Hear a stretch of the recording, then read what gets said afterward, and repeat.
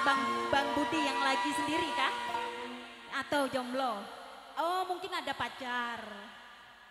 Nah, ada pacar itu. Gak ada? Takut kalau dekat